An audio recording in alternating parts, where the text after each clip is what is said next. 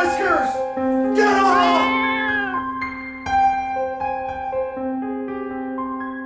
Get out of here, you goddamn cat! Get out of here! Did you read this paper? No, I did not. Seems a man was killed by some animal last night. That's horrible news. Who's there? I got a hammer! By the way, you know Mr. Whiskers got it last night? No. No. No. No.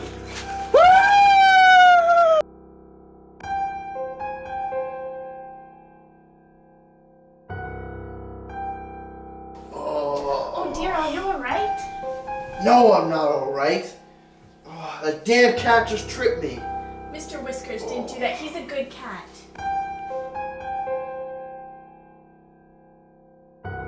You won't touch him. You will leave him alone. You said you'd tolerate him. Tolerate him?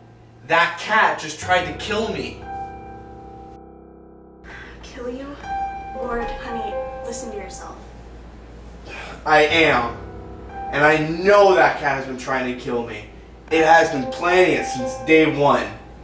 Lord, I think you need some help.